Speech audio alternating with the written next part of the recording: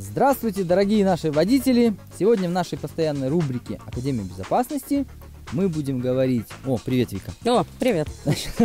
Мы сегодня будем говорить о том, чего ты, к примеру, уже давно не делаешь. Что, приготовление яичницы? Нет, мы сегодня будем говорить о том, как переключать рычаг коробки передач механически. Ой, может, не надо? Надо, Вика, надо. Ну что, Юр, показывай, что тут переключать, как это делать. Сначала давай поговорим о том, как держать руку на рычаге. Давай. Значит, если машина легковая, обычный легковой автомобиль с низкой посадкой, то руку удобнее класть вот так. Вот она сбоку от рычага, большой палец сверху, и остальные пальцы обнимают рычаг, но сильно не сжимают.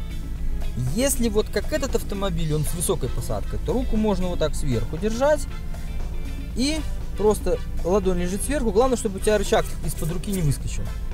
О, а это что за циферки? Наверное, номера передач. Да, это номера передач. Кстати, вот мы сейчас будем говорить, я даже специально вот схемку накидал, видишь такую? Так что тут переключать же? Все нарисовано, вот, Малевич-то наш.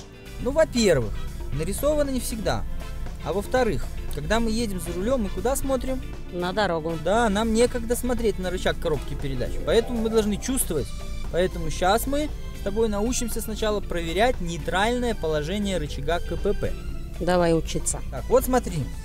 Вот эта линия, это линия нейтрального положения рычага КПП.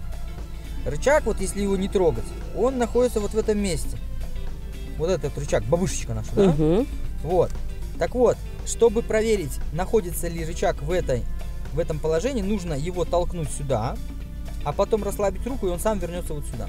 Вот попробуй. Ну хватит, покажи уже, как надо передачи Так, переключать. выжимай сцепление. Все, и держи его выжатым, не отпускай. Положи руку на рычаг. Все, значит, вот подтяни сюда. Видишь, первая, вторая. Вот Да. вперед первая, давай толкай.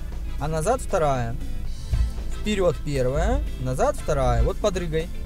Значит, обрати внимание, что тебе нужно постоянно придерживать рычаг к себе, потому что если ты расслабишь руку, он у тебя выскочит назад.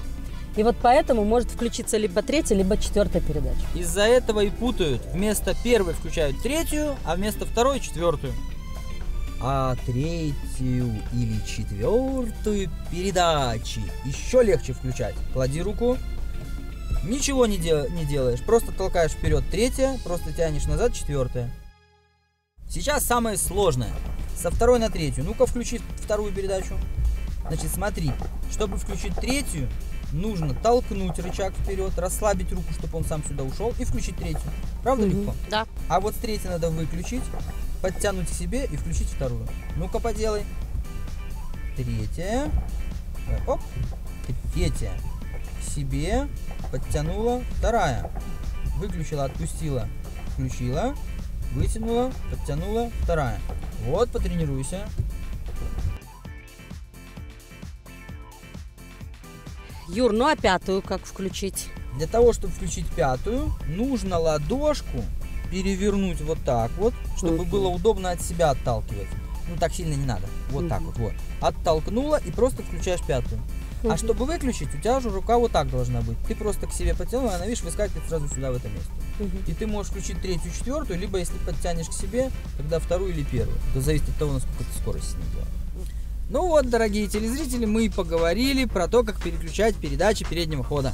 Да, поговорили. А про заднюю почему нет? Ты знаешь, про заднюю передачу особо рассказывать не стоит. Почему? Почему? Потому что там всегда есть какой-то секрет. А, Во-первых, она включается может в разные стороны. А секрет заключается в том, что нельзя там ее просто так включить. Нужно что-то подтянуть рукой, или как-то нажать на рычаг, или надавить сильнее.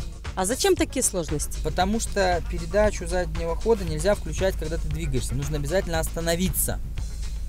Ну так если ее нужно включать стоя на месте, ничего сложного в этом я не вижу, можно разобраться. Да, И самой. поэтому давай прощаться.